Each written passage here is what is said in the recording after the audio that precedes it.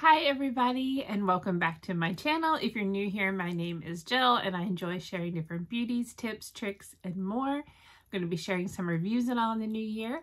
I know it's been a minute since I've been on here, but as I say the last few times, hopefully I'm going to get more of these videos on as I intend to because I have lots of ideas for this year. I'm going to be changing a few things up. Like I said, it's going to be more lifestyle, more reviews of different body products and things like that um, beauty products, all that. So today I wanted to start the new year with something very important that I want to make sure all you beauty lovers do, and that is going to be cleaning out your brush collection. So I am going to do a little video on that, but first I wanted to share, I went to Five Below and I did a little haul in there today because I wanted to pick up some new items um, to go along with cleaning our brushes. So one of the things I wanted to show you also is this little gadget here and it's called like a swap pad and as you can see it was like five dollars and five below. I'm going to do a whole video on just this and explain all about it and what it does for your brushes. So that's going to be an upcoming video. That was one of the things i got today and then because I like to change things out for the new year, I did go ahead and get our brush cleaning pad and I'm going to explain all this to you guys today. So we'll go over that here shortly. Um, the other thing that I wanted to pick up also is I needed a new little cup for our brushes. So I'll be going over that with you as well. And you'll get to see how that comes together. But I also thought it would be fun to pick up their nail polish colors. And they have a whole variety of colors in there. And I've never used any of the nail polishes from Five Below. So I thought, well, hey, maybe this year I'll do a review and see how well they hold up. Will they stay on? Do they chip, flake, or what? So this will be in an upcoming video as well. But I went ahead and picked, I know they're kind of like fall colors, but they can also go into the winter time.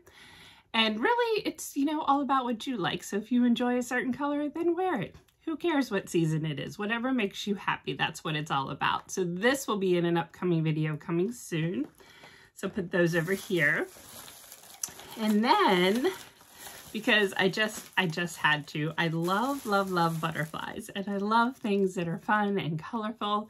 So they had these adorable butterfly clips. I mean, come on, you guys, how cute are these?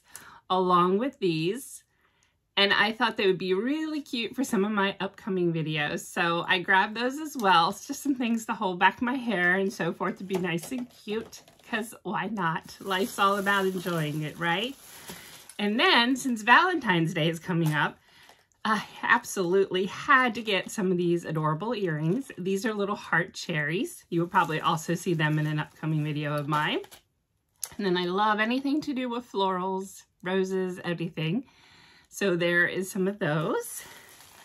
And then these, you guys, oh, how absolutely adorable. If you have a Five Below before you, this is not sponsored, but if you're looking for some absolutely adorable little things, then you gotta go. And then the other confession that I have to make is my youngest daughter started to work at Five Below. So I'm there quite frequently dropping her off and picking her up um, as she does not have a car at this time. So it's very dangerous every time I go in there because there's always something new and cute to pick up and share. But I really wanted to pick up the items for the um, brush brushes that I'm going to show you how to do that today and why that's important. So let's go ahead and get started with that next. Okay, so I want to show you a little closer up what this mat looks like. They also come in different sizes and shapes, so you know, however you want to put them in your sink and they have the little suction cups on the bottom and it makes it real easy to place it in your sink and hold it into place when you're getting ready to do your brushes. Now, as you see, I have positioned it in my sink and I left a little area here to make sure that the water is able to flow down around that. So the next little trick I'm going to show you, this is the cup that I got at Five Below and it's super cute and it makes me smile. But you can use any kind of cup. It can be plastic, it can be glass. It doesn't really matter which one you want to use.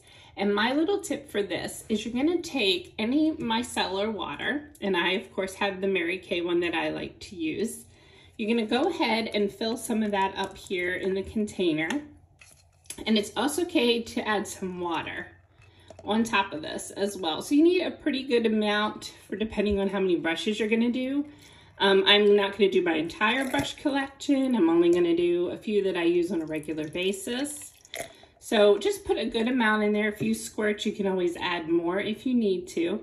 And why do we use the micellar water? Because it's going to work at the same effect that it does with your face. It's going to help to lift and remove the makeup off the brushes. So let me fill this up and we'll go to the next step.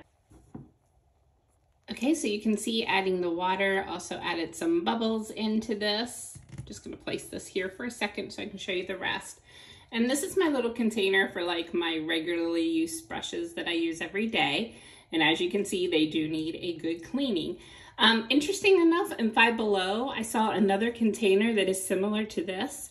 And I really love it because it's easy to put all my stuff in and then I fill it in with my eyeliners and so forth in these bigger spots. So if you're lucky enough to catch it in Five Below, you may be able to get one of those for your brushes as well. And again, I am not sponsored by Five Below. I'm just helping you guys find all the deals and things that you may need. So next, let's go ahead, take these brushes off and get them soaked. Okay, so for the first step, you're gonna wanna let these soak for a few minutes. And as you see, one of my brushes also has the spoolie. So in a few minutes here, I'm gonna flip that upside down and let that soak as well. You can also take them and move them around a little bit. But I would give them about five minutes or so to soak before you do the actual cleaning on the pad. Let's go ahead and start cleaning out these brushes. Okay, you're just going to want to take the brushes out and go ahead and scrub them over a pad. Just remember it is extremely important to keep your brushes clean because it keeps for a healthier face and less bacteria. Be sure to rinse them well also. Then I usually just lay them on the side as I'm going along.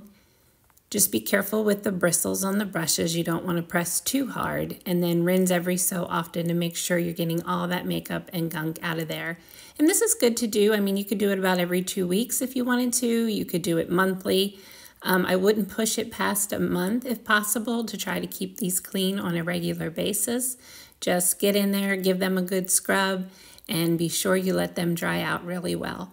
So I'm just gonna lay these along here, getting ready for my ultimate goal of drying them. As you can see, this is my foundation brush, so that one does get a lot of extra in there.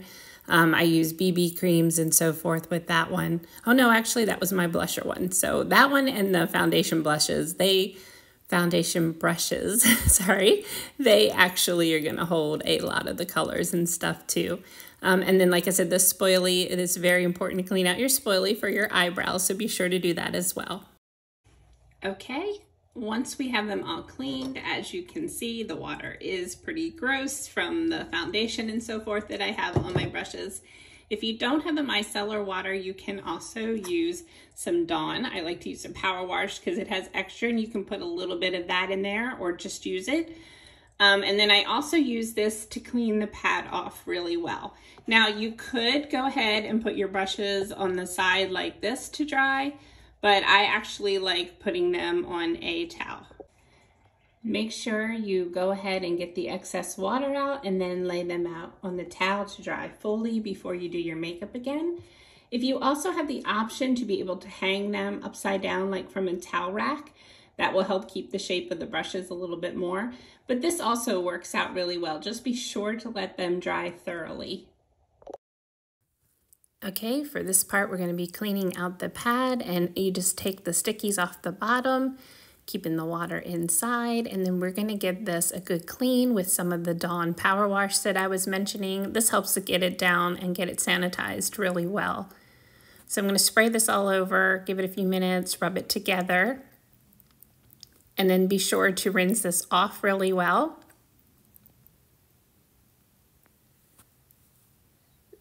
Usually everything comes off pretty easily, but sometimes like the foundation, as you can see, gets a little stuck in between there.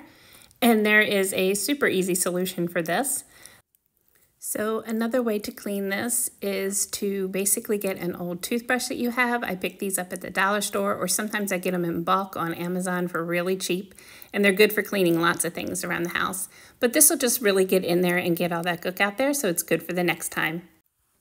So next you can see how dirty the water is. This is another reason why you need to clean those brushes and keep them clean and sanitized. So we're just gonna clean all this out and I'm going to let it dry and I'm also going to use a little Dawn in this later but I just want to show you guys how to get everything out and clean and ready to go for the next time. So I hope you guys enjoyed this video today to kick off the new year. If you have any questions at all, you can leave them down below. I'd love to hear it. I'd also love it if you share a little bit with me about your New Year's resolutions. What are your dreams and goals for this year? I always like to read that. And if you enjoy this video, I'd really appreciate it if you like and subscribe. My goal is try to hit the first 1,000 here as soon as I can and then continue to build from there. So thanks so much, you guys. I hope you have an absolutely wonderful day.